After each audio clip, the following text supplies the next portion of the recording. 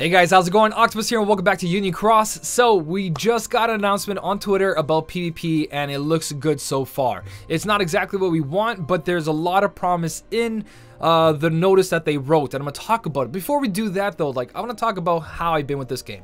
Um, I've been with this game for exactly 839 days and that's not the max amount either. I went on vacation with the wife uh, family things so there's days that i missed logging in and playing not because i didn't want to just because i couldn't i couldn't help it.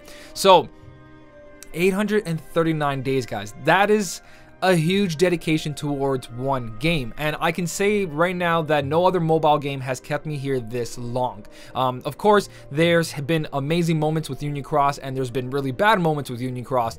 But in the end, it has a lot of things I really enjoy and really like and I want to see be improved and just getting better and better because it's a game I actually care about. It's a game I actually love, and that's why I make videos like this where I talk about um, the bads and the goods of the game because I want to see improvement. I don't want to see the game to go down, and neither do you guys or the community that still cares about the game. Um, so we did get a notice, and I want to talk about the notice, but just logging in today, I'm like, I've been playing this game for 839 days. That is incredible how much dedication towards one game. You got to think about like you buy a PS4 game or something, and you sit there and you play play and you're like done with a couple months. I've been with this game for a very long time and so has a lot of other people. So we want to see the game improve. We want to see communication and that's exactly what we got. And it, it's gonna get better from this point, I believe, from the way this notice says. So hopefully, hopefully it is. But we're gonna go over a couple things um, that I want to see done for PvP. I just wanted to reflect over how much time we spent on this game. Alright, so the notice on Twitter, guys, let's look at it together. Basically, they tweeted out this yesterday. Hey Keyblade wielders, we have a short message regarding the PvP changes listed below.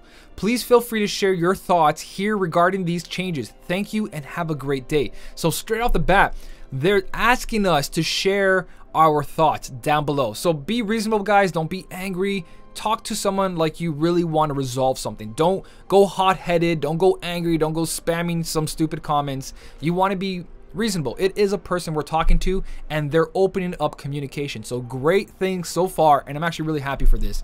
Um, I read a couple things down below and I agree with a lot of them. Some of them aren't uh, really necessary and uh, a lot of them I really do like, but we'll talk about that after. Let's go into the notice down below. So First paragraph. Recently, we made a post stating the upcoming changes for PvP. So they said there's changes coming to PvP, which were recently implemented. So they were put in. So something that they talked about before were put in, and I'm guessing it's the lockout issue where they basically changed the lockout issue and the rewards. So that's what they're going to talk about here. So lockout issue, if you guys know what that is, it's uh, where at the last hour PvP, everyone just grabs someone's sister for five minutes, and then as you're trying to search, either someone has you or someone's busy, and the list is just cluttered with no matches and you lose your ranks and you get nothing out of it. It's really bad system. So um, that right there apparently is implemented already what they talk about they talked about which is weird. I, I kind of wish they put a notice in the game because a lot of people don't go on Twitter. I feel like there should be more notices inside the game saying hey PvP has been updated. This is happening right now. Thank you guys. That's it put it inside the game because a lot of people don't go to Twitter. I know a lot of YouTubers, uh, we talk about Twitter a lot, we talk about the JP version, but a lot of people who sit there and don't do the whole following a YouTuber or following your Twitter account, they don't know what's going on. So they're playing your game and they have no clue these changes are happening. They have no clue what's really going on because it seems lately that they've been putting a lot more things on Twitter than actual notices inside the game or just no notice at all from either one. But uh, for now, that's just something I really think should be put in this notice right here should be inside uh, the game with a link to Twitter. Say, hey, if you have any suggestions, here's a link to our Twitter page. Boom. And then you also get like, I guess, free advertisement right there. Like, hey, Twitter, come follow us. Anyways, uh, this is an ongoing process. So your feedback regarding these changes will be greatly appreciated. So meaning everything that we're going to be doing now is an ongoing process. So whatever we what they say here is not finalized. It's not what's going to be and the only changes. They're going to slowly work with us to find the best solution for everyone. So in the next paragraph, PvP rank lock issue, like I was talking about, some players were locked out, uh, quote unquote there, directly before the PvP ranking week reset. We have since adjusted it to minimize this from occurring, but please note that there may still be some locking out prior to the reset. We will continue to mon monitor this during the next few weeks. So, They've already implemented this. Um, the lockdown issue, there, I think what they did was that people on your list that are in battle are not going to show up, and only people who are available will be there as long as they're not being targeted at the same time. So there also might be from the wording of this there might be like a grace period and if there isn't this is kind of one suggestion i wanted to throw in here right now since we're on this paragraph that once someone comes out of a battle um, either attacking or not attacking, or at least from being attacked. So let's say I was targeted and I'm waiting and waiting the three or five minutes that it takes. After that, give me 30 seconds of not being able to be targeted again so I have a chance to actually go find my own fight. And if I can't, then in 30 seconds someone can come fight me. So at least a little lockout period for us. Even not even 30 seconds is pretty long. Give me like 10 to 15 seconds to find an opponent before someone hits me again. That's a huge thing. It might be implemented. I might be reading this wrong, but I feel like that's a good thing to have in there, a 15 second grace period or something like that. Um, so in the next paragraph, it says PvP ranking tiers and reward changes. So we have expanded the tier list for players to have more of an opportunity to receive rewards within their own brackets. We intended to monitor this system closely as well, so that we can modify and or make changes as necessary. Please let us know what works and what doesn't. Doesn't. Please let us know what works and what doesn't everyone be civil and give your ideas down below. Say this doesn't work because of this, and I feel it should be like this. And they'll sit there and be like, enough people said this, and that looks like a good idea. So, what they mean by this right now, guys, it is implemented already, but we can't notice it because it's a luxury PvP week on top of it. And there's a lot of silver tickets down all the way to like rank 1350. Let me pull that up real quick with you guys in the game. And so of course top 3000 have like a crazy amount of gold tickets, which is high rankings equals high rewards. But you can already see here from 13,500 silver tickets, which on the normal, you wouldn't be seeing this much silver tickets at these ranks. You would have to fight really high to get these kind of silver tickets, where you see 3,000, there's one gold ticket, but then increases to two gold tickets, so on and so on. Now, I don't think it's going to be this high when it comes to the normal rankings that they're going to implement. I think it might be somewhere around the twos and stuff like that, but this might be a normal. If they keep this like this, 13,500 people getting one silver ticket and then 9,000 people getting two silver tickets, every week this will add up. So if you always make rank 9,000 and getting yourself two silver tickets, you by the end of the month you're gonna have eight silver tickets out of those eight silver tickets you can start making your copycat medals tier fives and sixes into seven stars your lingering wills and anything else you have in tier six and then maybe if you're super lucky some tier sevens and eights so silver tickets are good it's just nothing like a gold ticket. But trust me, I've had plenty of gold tickets where I've got like tier 5, 5, 5, 6, 5, or 6, 6, 6, 5, 5, something like that, a combination, and not seeing any tier 7s or 8s.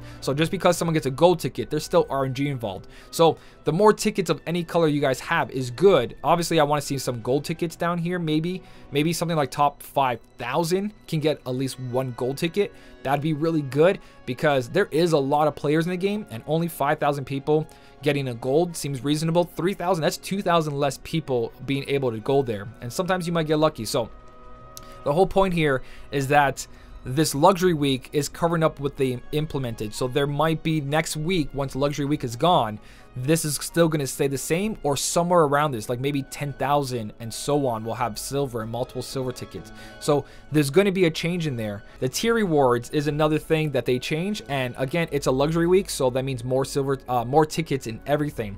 But in the point system, we have pure bronze tickets right now. And I feel like a lot of this would be fixed like a lot of the like the complaining and the issue with power not even the complaint there's the issue with power this would be great if this was something like silver, I mean, uh, bronze ticket, bronze ticket, silver ticket, silver ticket, gold ticket.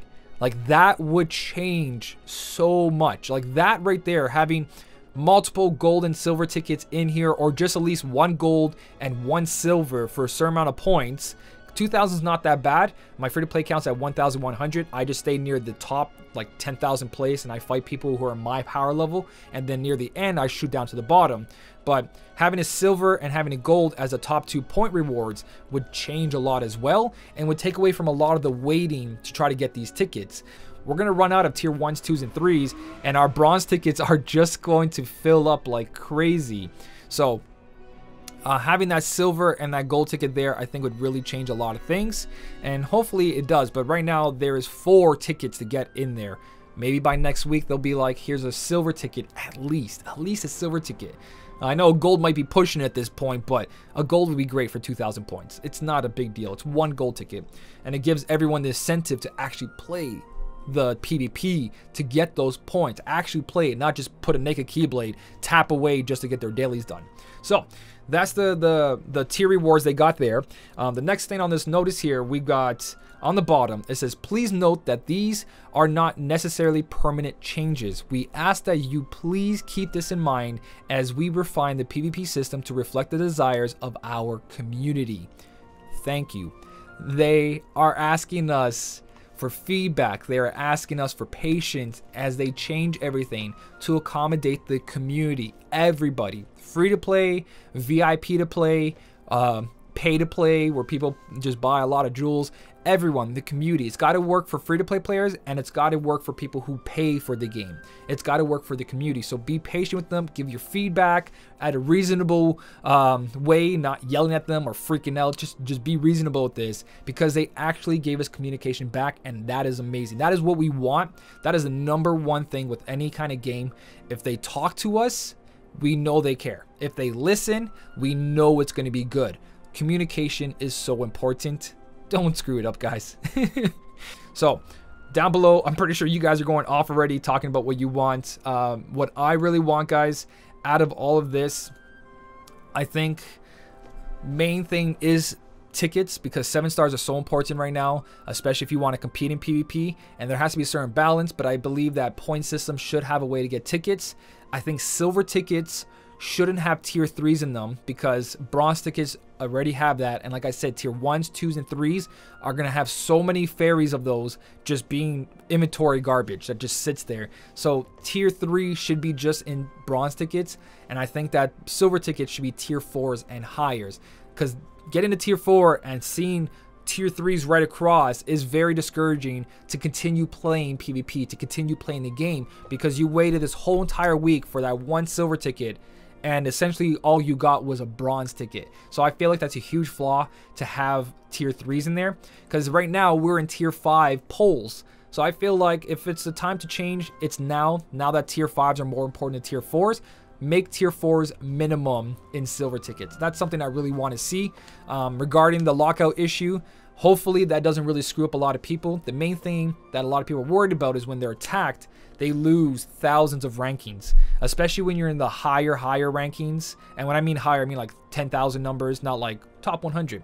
When you're like 5,000, 3,000, 2,000, it is so quick to be dragged out that you lose all your rankings. And with five tries, if you don't wait till bedtime, basically, when you're supposed to be asleep or waking up for your job because the hours are so awkward, um, you get pulled out so quickly. So I feel like the ranking should be a little bit different. If you get defeated, you shouldn't replace the the the big jump there. You should move a couple spaces like 10 tiers, I mean 10 rankings or 20 rankings, not from place 1000 all the way to like 3000. I don't know if that's actually part of there, but I've seen big jumps because you can get pulled, pulled, pulled, and pulled and just keep getting pulled. But that also goes with how strong your Keyblade is. If you're strong enough, you shouldn't get pulled. But I feel like sometimes people get lucky or they see your name enough times and they look for it to fight you again because they've seen your setup and they make a counter setup to it, which just keeps pulling people out. So the main thing, guys, is